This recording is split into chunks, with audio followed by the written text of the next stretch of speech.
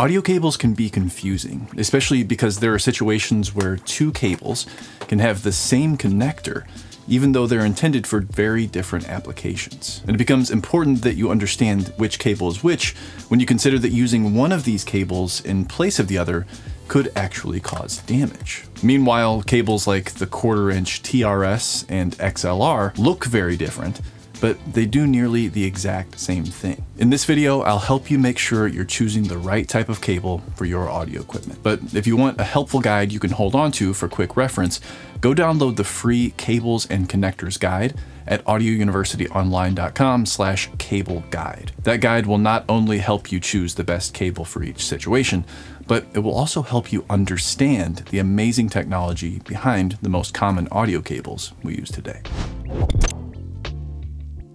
One of the most common types of cable connectors in pro audio is XLR, which has three pins or terminals, pin 1, pin 2, and pin 3. XLR connectors are most commonly used for balanced connections where pin 2 is positive and pin 3 is negative, allowing noise to be very effectively rejected even over long distances. The engineering behind this is absolutely amazing and quite simple, actually. Devices designed to receive signals with a balanced connection only respond to differences between the positive and negative wires. And when noise is picked up by the cable, that noise will be the same in each wire and will therefore be canceled through common mode rejection. You can learn more about balanced audio in the cables and connectors guide I mentioned earlier, which is linked in the description below this video. The first pin on the XLR connector is used for connecting the shield, a conductive material that surrounds the two signal conductors. This shield is unrelated to a balanced connection though,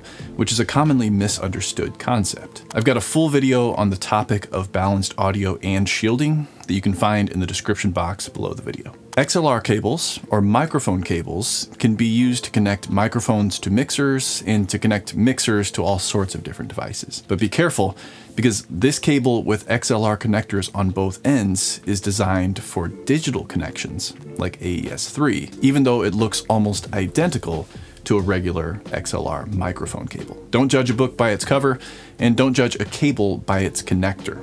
Be sure to check the specs of the cable and the intended signal type. Just like the XLR connector, a quarter inch TRS connector has three separate connections, a tip, a ring, and a sleeve. They're also commonly used for analog, balanced, shielded audio connections. The form factor of these two connectors are different, but the general use of them is the same. You'll usually be connecting microphones with XLR cables, and that means you'll eventually have a good collection of XLR cables at various lengths. However, you'll find quarter inch TRS connections on many mixers, as you can fit more into a smaller space. When this happens, I tend to use a TRS to XLR adapter, partly because I have more XLR cables, but also to take advantage of the locking feature of an XLR connector. In my opinion, there's one particular brand of connector that are way ahead of the competition, and that's Neutrik. So no matter which brand cables you buy, I'd highly recommend buying XLR or TRS cables with Neutrik connectors, if possible.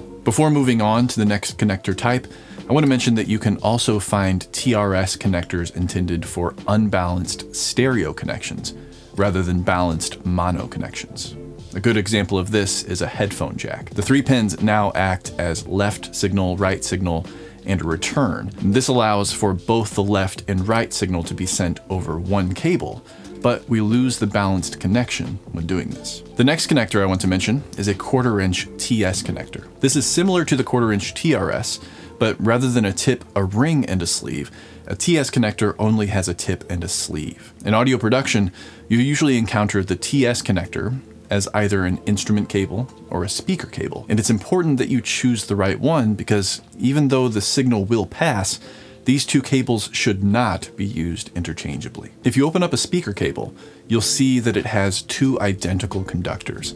These are just like the positive and negative conductors in any speaker cable. They're thick as they're intended to carry signal from an amplifier to a speaker cabinet. On the other hand, an instrument cable is intended to carry instrument level signals and therefore has a much thinner conductor surrounded by a shield or ground conductor. If you try using a speaker cable as an instrument cable, you'll probably hear a lot of noise. And if you try using an instrument cable as a speaker cable, it may cause overheating as the conductor is not intended for amplifier to speaker connections. Just like the quarter inch TS and TRS, you can also find eighth inch or 3.5 millimeter TS and TRS connectors. The eighth inch TS connector is pretty rare, but you can find it on some control systems. Much more common is the eighth inch TRS, but rather than carrying balanced signals like a quarter inch TRS might, eighth inch TRS cables are usually designed for stereo signals. This is the case for an auxiliary cable and a headphone cable. The left and right signals are sent over separate conductors and they share a return connection. You'll also find eighth inch TRRS connectors with a tip two rings in a sleeve. These are commonly used for headsets where you need left and right for the headphones, as well as a microphone input. Again, the ground connection is shared for all three of these conductors. The specific pinout will vary by manufacturer, which means you may need an adapter that is TRRS to TRRS with different connection points for the microphone on each end. Some hi-fi headphone amplifiers will utilize a TRRS or a TRRRS connector with three rings for balanced connection to the headphones. This allows the headphone amplifier to power the left and right side of the headphones separately rather than sharing a common return. Balanced connections for headphones are very rare in pro audio, but are sometimes found in hi-fi systems. Another connector found on consumer electronics is the RCA connector. These are often found in pairs of white for the left channel and red for the right channel. You can sometimes also find these on DJ equipment, and if you should encounter this in a live situation, I'd recommend using some sort of DI box like the Radial Pro AV2 to convert the unbalanced RCA connection on stage to a balanced XLR connection if you're running it over a long distance.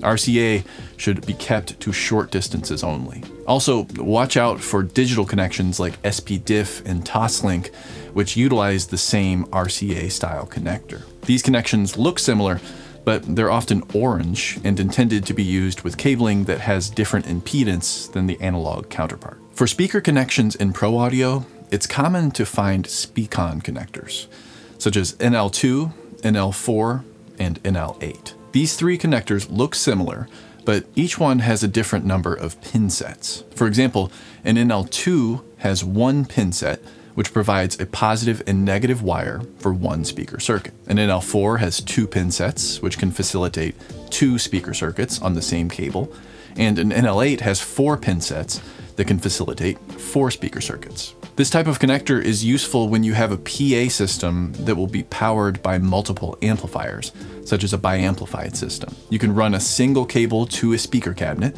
which might take pin set 1 for the low frequency drivers and pin set 2 for the high frequency drivers. Alternatively, you can utilize Speakon cables and Speakon breakout adapters in the same way you might use a subsnake on stage. That is, to run several speaker lines over a single snake cable, then break them out on the other end connecting each circuit to the corresponding speaker cabinet. The final connector I'll mention in this video is a Phoenix connector, also called a Euroblock connector. These are most commonly found on equipment that will be installed permanently in a rack. The captive screw type terminals allow for easy and clean installation, and they take up a relatively small amount of space on the equipment chassis. These connections are not as rugged as the other connectors I've mentioned here, and that's why they're rarely used in production situations where the system will be deployed and torn down regularly. Okay, this is a lot of information to remember, so again, I invite you to download the cables and connectors guide at audiouniversityonline.com slash cable guide. There's also a link in the description below this video. But once you've finished downloading that free guide, come back here because in the next video that's on your screen now, I'm helping you learn the right way to store your cables when you aren't using them, which will keep them in good shape for years and years to come. I'll see you there.